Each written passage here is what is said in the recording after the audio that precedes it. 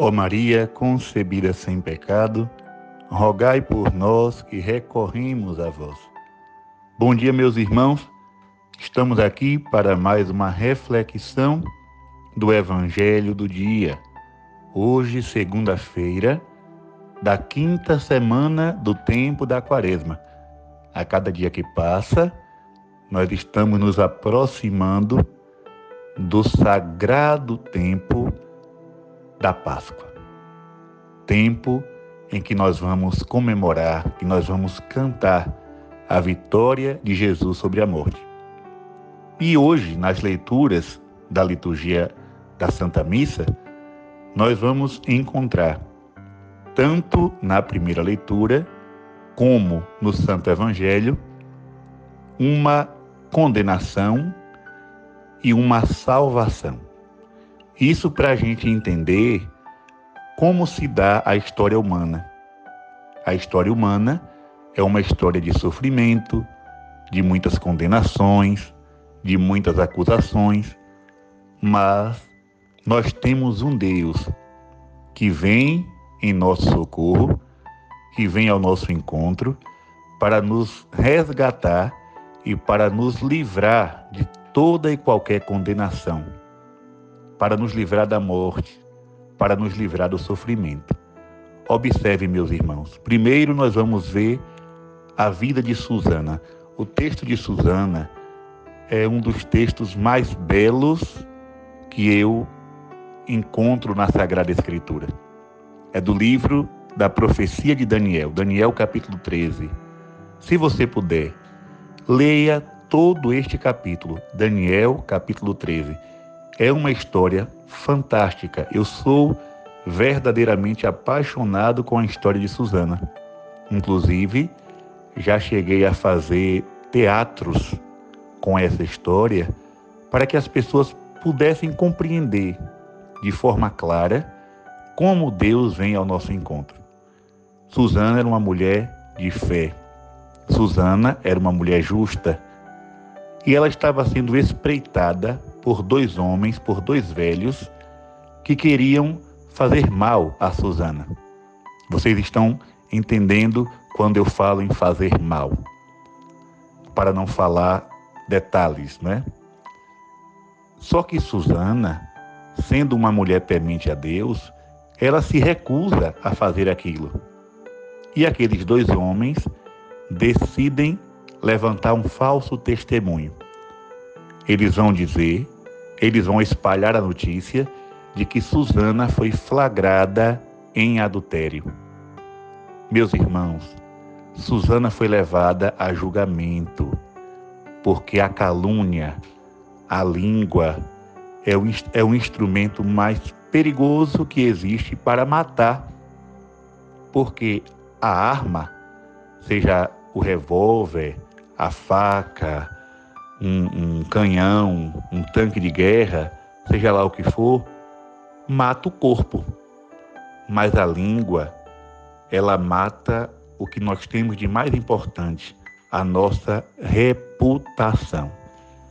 A nossa reputação diante das pessoas. A língua, ela pode acabar com a reputação de qualquer um, ainda mais se for uma acusação leviana, foi o que aconteceu com Susana. E na hora em que ela estava sendo julgada, prestes a, condenar, a, a ser condenada, Deus levanta o profeta. O profeta que vai dizer a verdade em favor de Susana. O profeta que vai chamar aqueles dois homens e vai chamá-los de velhos encarquilhados no mal ele vai fazer um julgamento honesto, santo, vai descobrir a faça dos dois e Susana vai ser livre. Já no Evangelho, não é mais um profeta que Deus levanta, mas é o próprio Deus, na pessoa do seu filho Jesus, que vai se deparar com uma mulher caída ao chão. Meus irmãos, aquela mulher que foi flagrada em adultério, ali naquele chão, no meio da poeira, das pedras, não estava somente o seu corpo, estava também a sua reputação, o seu futuro, a sua alegria. Por quê? Porque ali todos estavam com uma pedra para atirar nela. E eu digo a vocês, a pedra já é, digamos assim, o, o, o segundo passo que se dá para matar uma pessoa. Primeiro ela foi assassinada com a língua, né?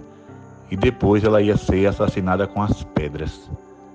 Meus irmãos, Jesus diante daquela mulher, ele vai dizer àqueles homens: quem não tiver pecado, seja o primeiro a atirar uma pedra. Todos foram soltando suas pedras no chão, foram saindo um por um, e Jesus ficou sozinho com aquela mulher. E ao olhar para ela, Jesus diz: Ninguém te condenou? Eu também não te condeno. Agora vá e não tornes a pecar. Meus irmãos, aqui nós vemos dois casos de salvação. Primeiro, uma mulher justa que foi caluniada, e no segundo caso, uma pecadora. Mas mesmo assim, Deus veio em seu socorro. Porque Deus não quer que ninguém morra. Deus quer que a gente viva. Deus quer que tenhamos vida em abundância. Por isso, meus irmãos, peçamos a Deus duas coisas. A primeira, a graça de não caluniar ninguém. Que a nossa língua, que a nossa boca nunca seja instrumento de morte. Que nós jamais façamos uma acusação leviana contra ninguém. Segunda coisa, segundo pedido que nós devemos fazer, é que Deus nos proteja da língua alheia. Que Deus nos proteja da língua má, como se diz aqui na Bahia, da língua ferina, ou seja, da língua que fere, da língua que mata, mas que Ele venha ao nosso socorro, ao socorro dos justos, como Susana, mas também dos pecadores, como aquela mulher caída ao chão, e nos ofereça a sua salvação, a salvação que vem da cruz, a salvação que vem do céu. Meu irmão, minha irmã, que o Senhor te abençoe neste dia sempre, proteja a tua vida de todo perigo do corpo e da alma, proteja a tua casa, os teus pertences, a tua família. Te dê livramento de tudo que vier contra ti e guarde tua vida e tua alma para a glória de Deus. Em nome do Pai e do Filho e do Espírito Santo. Amém. Meu irmão, minha irmã, foi bom estar contigo nesta manhã de segunda-feira. Até amanhã com mais uma reflexão do Evangelho.